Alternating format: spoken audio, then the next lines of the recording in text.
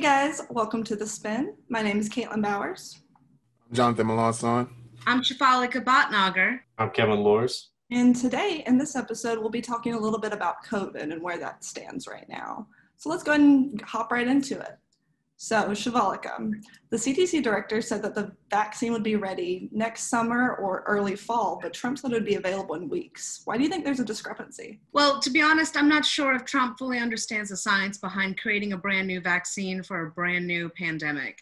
Um, the CDC guidelines and timeline is actually very accurate and very hopeful. I predict maybe next September in 2021, that's when we'll actually have a workable vaccine. Right now, we have 47 different vaccine trials across the world. 27 of them are in stage one, I believe. Uh, stage two, I think there's 14. And stage three, where they start actually testing on humans, I think there's only about seven.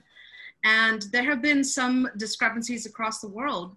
In Europe, there was a vaccine that caused a spinal, uh, spinal fluid inflammation and so they shut that vaccine trial down to um, what they quoted as saying they want to make sure that their vaccine trials for stage three are humane because you're testing them on people, roughly 20 to 30,000 people. And these vaccines in themselves may only provide a certain first tier level of uh, immunity, like six months. You might have to end up taking boosters. So I'm not sure what Trump was talking about when he said that he wants to start turning out vaccines this year as, as early as before the election.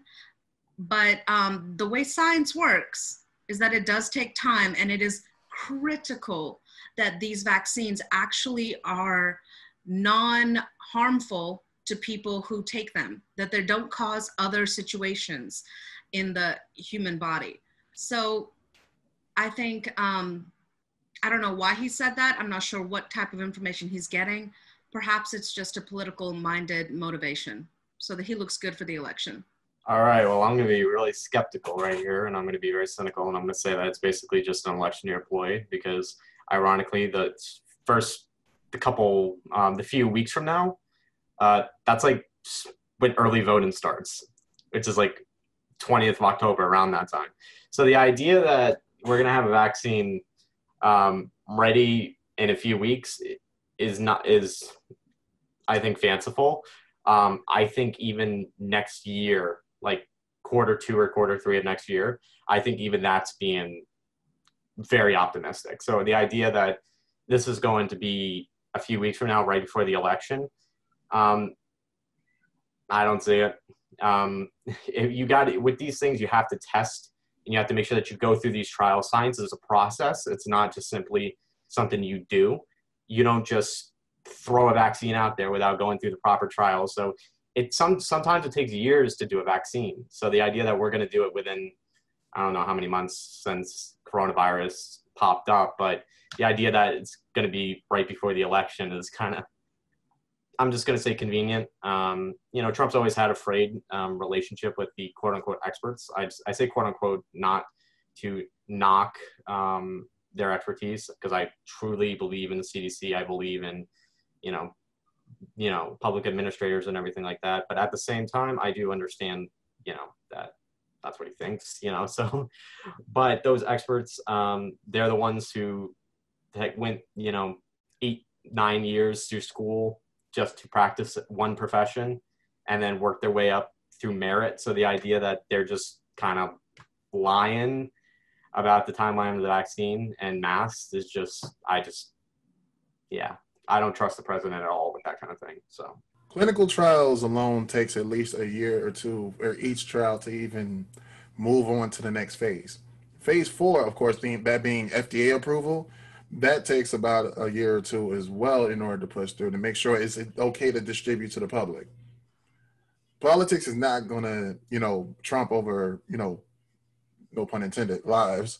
But um, essentially, okay, you can make a case for you know global warming, that being you know part of science.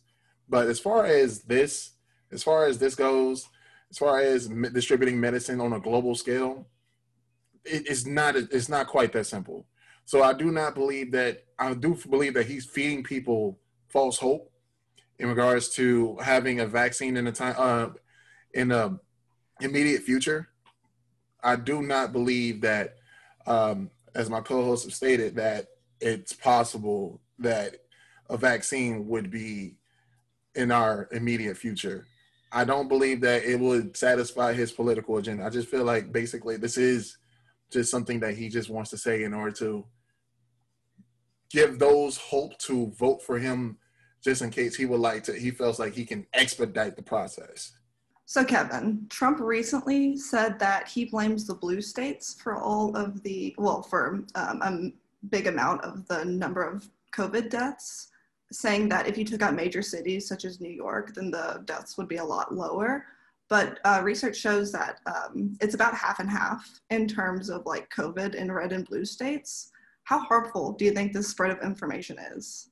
It's basically it's politicizing deaths and and COVID, which is what we've been doing since April, unfortunately, um, when lockdown started. So the idea that you know, um, first and foremost, if you look at the red states per capita, I'm pretty sure the red states have had more. And I'm not trying to be political. This is just what I have seen is that per capita, um, you know, red states kind of have had it pretty bad too. So the idea that you know it's just the blue states and it's the blue states' faults, it's it's ridiculous. First, and not only that, if you look at, for example, the response um, in the initial stages of the um, of the pandemic, when we were looking for when the states were looking for PPE, um, instead of doing the Defense Production Act, instead of nationalize or federalizing the response, he just left it up to the open market for the states to just get PPE, and that actually does not help places like Mississippi or Alabama or Nebraska or any states that are, you know, not as rich as say California or uh, Massachusetts or New York, which are blue states.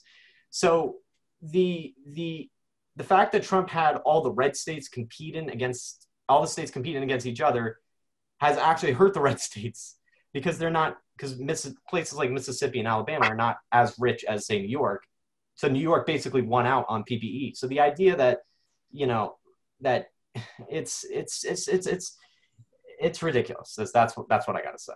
So, granted, New York as of um, as of the 17th had 32,000 cases. Granted, New York uh, still basically was well was considered the epicenter of the COVID 19 um, the COVID virus for quite a while, but Texas being one of the states in the top five, currently has 14,000, uh, 14, 14,800 deaths. So I get what he's trying to say. I understand that, but even though California has more cases than Texas, Texas has a lot more deaths. Now, California, if I'm not mistaken, currently is leading the United States in cases, but states like Florida, who has 12,000 deaths right now, are right behind it. New York is actually slowing slowing the curve. So I get that he I get what he's saying, but at the same time, it's like Kevin stated, it's kind of putting politics on life. So it's not necessarily I'm not sure if he's trying what where he's trying to appeal, what audience he's trying to appeal to when it comes down to this, but at the end of the day, it's gonna hurt his political agenda if he's basically stating blue states are responsible for this, but and red states are not because it there's swing states. Swing states are definitely going to make sure, okay, if he's talking about us or is he not talking about us? You know, so and Florida is a very big swing state. So I would not cause any division. If I was him, I would not cause any division at this point when it comes down to using the coronavirus for a political agenda because it's it's a double-edged sword. I agree um, I think he is the president of all 50 states. And to start to draw the lines in the sand for a pandemic, a virus that spreads from person to person across state line, um, and to say the blue states did this, the blue states did that, I think that's um, reductive. A human life is human life. And it doesn't matter if more people died in Iowa or Hawaii. It matters that people are dying and they're still continuing to die. The infection is still spreading. And um, I don't understand, other than politics, how to how that idea or that concept even came about. He gave a press conference in the White House today where he had a graph and um, where he had this huge bell curve and it was all shaded in dark blue. And then there was a small little gray line that said, if the blue states, you don't count them, then this is where we would have been. We would have had the lowest numbers in the world, but we don't. And they count because they're all Americans together. I don't understand where this logic is coming from. And it can only be that it's an election year and he has got to rile up the red states and empower them to say it's red versus blue. It's more of this us versus them mentality. And the coronavirus doesn't care who you vote for. If you get infected, you get infected. And it just speaks, it diminutizes the loss of life in any state. When you are infected with COVID and you are put on a ventilator, you're not allowed to have visitors. You are in quarantine. These people who have lost their lives died alone. Where is our humanity? Where is his? All right, guys, let's take it a little bit back home now. So, the University of North Florida is now urging students to report COVID violations amid evidence of like several different parties involving university students. Do you think this will help at all, or was it doomed from the start to even have in person classes this semester? Shivalika, what do you think? I think having in person class was actually necessary for many people in different degrees. You have people that need campus resources that pay tuition for those campus resources. And you have plenty of students from out of the city that have to live in the dorms. I think it is, um, there's this trend uh, right now on social media of like on TikTok, for example, um, students at their own university publicizing that, look, if you're having a party, I'm gonna I'm gonna tell somebody because I'm not paying all this money going to student loan debt, borrowing money from family and the government to just get put on online only education. What is the difference between a real in-campus experience and the University of Phoenix or DeVry University online? So I think that there are a lot of people who are students who are saying, look, if you're breaking the rules and having a bunch of people without masks hanging out, like I'm gonna I'm gonna have to say something about it because I don't want to lose the benefits that I pay for for my education. So I don't I don't think it's doomed from from the beginning. I think it's a very uh, precarious situation, and we knew coming into the semester we'd have to play it by ear.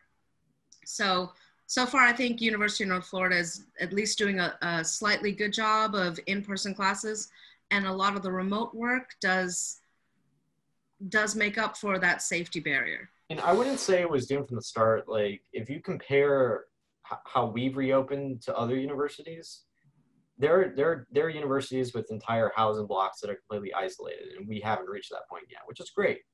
Um, you know, at the same time, I want to know, for example, I was looking on the Spinnaker article just now. 36% of classes are in person. I want to know, like, where did that come from? Was that an empirical, yes, we can only have 36% of our classes done in person? Or was it just, oh, we need 36 people, 36% of our classes uh, in person because that's what we want? And that's the question that I want answered. Um, but, you know, it, in my opinion, um, in my opinion, uh, it's, you know, I don't like the way that I like the way that the university has handled the situation, but I don't like the way the university has handled concerns in the sense that I see first, I think, you know, for example, President Szymanski, I met with him over the summer with several other people. Um, I'm a 22 year old man, you know, I have a job, I pay bills. His, his wife is a wonderful person, but she read me a child's book. Um, so that kind of shows the kind of how I think he holds the, the regard he holds for me. I asked him a question, for example, about, you know, we're in the midst of hurricane season and most of my classes are online. So if I lose power for three weeks, like I did with Irma, you know, what's going to happen? Never got a response. Um, so at the end of the day, while we have handled the, the, the reopening well, I think communication needs to get better between this between the student body and President Szymanski. But at the same time, I want to just you know, tip my hat to um, the dean of students. She's been great about this. She was great with the, with the Canvas course. She was great about making sure that people took that course um, and that they knew what they needed to do. Um, but at the end of the day, like I said, I don't think it was doomed, but I, you know, it's just we we I've seen people walking around without masks, you know, at UNF, and even if you're not like, even if you're even, it, you know, sitting down is one thing when you're six feet away from other people, but when you're like walking around, you know, in enclosed places and you're talking with people face to face, like I've seen people who were tabling who did not have masks on. Guys, we gotta we gotta report that. You know, that's not that's not right. You know, that's not what we should be doing. So I would say it's a mixed bag with our response. Um, initially, yes, we have done well, but we need to, the student body needs to do better at reporting violations, and we need better communication between the administration and the student body. Oh, essentially, asking the students to be more responsible for themselves. I don't see a bad thing about that at all. Uh, to be responsible for each other, because of course this just present prevents the spread. It just prevents the campus from having to close indefinitely. Mm-hmm. You know, for so it's not even just the students that are actually being responsible for each other, but it's also the um, teachers as well. I met recently with Clarence Hines, who is uh, an assistant uh, associate professor for the music department, who basically told us, of course, with music being such a hand-on, hands-on uh, subject, mm-hmm. that they actually went to hybrid. So they have ten people in class, and they'll also have protective per, uh, personal protective equipment for each for each student, especially if they're using air-based instruments. So the majority of the classes are going to be remote, and the majority of the classes, I mean, and some of the classes are going to be in person only if necessary. Mm-hmm. So they have been able to handle a lot of things remotely by just sending recordings. So the teachers are being responsible as well by making sure that nothing happens on their watch and of course because they have families too that they don't want to drag this on through because from most teachers from what i've spoken to and i've spoken to at least three there's not many there's not much communication between you know the the faculty in regards to what to do they're basically running off the cdc guidelines uh, from from what Hines has re- referred to me uh, during his interview, they're basically just running off the CDC guidelines. Nothing is being reported directly from the school on how to do anything, but they are still implementing personal protective equipment for students if they do have to come in. I know for immediate students, it is especially difficult because, of course, we can't go through and use the studio this semester, which, of course, it's that's kind of a big chunk of our learning curriculum. So it's hard. It's I respect the school for saying that young adults need to be responsible for under other young adults, but at the same time, it's kind of we already have a lot going on, as Kevin said. Like we have school, we have work. Mm-hmm. Why should we have to be responsible for the next person? And I get the stu- the school's perspective. It's kind of like if we don't contain this, then we don't know what we can do as far as teaching and you know respecting the tuition that students is paid because we're going to have to close if this thing cannot be contained. All right guys. Well that is all the time we have for today. Uh, thank you so much for joining us for our discussion about covid related stuff. Um, my name is caitlin i'm jonathan melanson. I'm shivalika bhatnagar i'm kevin lors. And this has been the spinn